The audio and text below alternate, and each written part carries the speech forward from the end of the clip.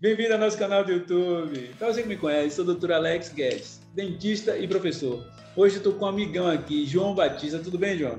Tudo bom, professor? Que prazer, que alegria estar aqui com você. É sempre uma honra e um prazer muito grande a gente poder passar essas informações para as pessoas, para terem sempre um sorriso cada vez mais saudável e mais harmônico também. Hoje também uma das modernidades também da ortodontia, que antigamente, né, é, utilizava-se os anéis nos dentes molares, né, nos dentes posteriores. E hoje se utiliza também tubos de colagem. Já tem acho que 20 anos que eu não uso.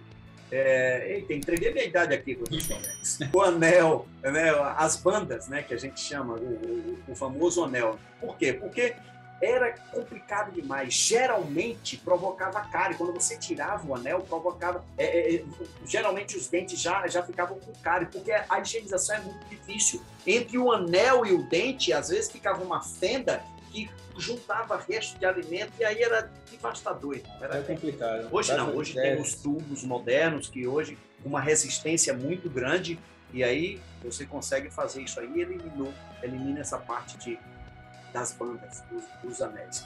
Sem falar de que utilizava-se uma borrachinha para separar um dente do outro, meu amigo, que aquilo era uma coisa terrível, que doía muito afastar um dente. Você já imaginou passar 24 horas, 48 horas afastando aquele dente ali, uma borrachinha fazendo uma pressão? Era uma coisa louca. E, e por falar em evolução na ortodontia, né, Alex, a gente tem vivido dias maravilhosos, né? Assim, às vezes um caso um caso clássico, às vezes de, um, de uma criança que chupou o dedo por muito tempo, ou usou chupeta por muito tempo. E aí o que, que acontece? Acontece, um, vou usar linguagem simples para você entender, um afundamento do céu da boca, justamente pela posição do dedo que essa criança chupou, e com isso acontece assim, como se a boca fosse aqui, e aí com o dedo aqui ficava, ia estreitando aqui. Então, essa parte lateral, de um lado e do outro, fica mais para dentro. Então, para que você possa corrigir isso, quanto antes você consultar o dentista, melhor o resultado desse procedimento. E antigamente se utilizava um disjuntor de írax. Amigo, era uma força ortopédica é. absurda o sofrimento para o paciente era muito grande.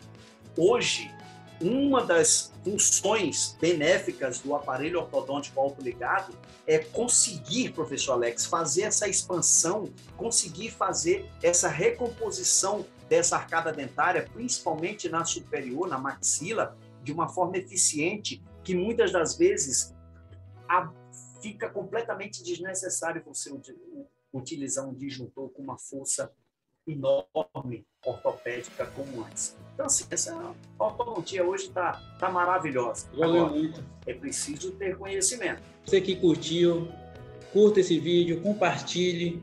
E você que mora em Salvador, aqui embaixo vai estar o link do consultório do Dr. João para te atender. Até mais. Tchau, tchau, João. Um abraço. Obrigado. Tchau, tchau.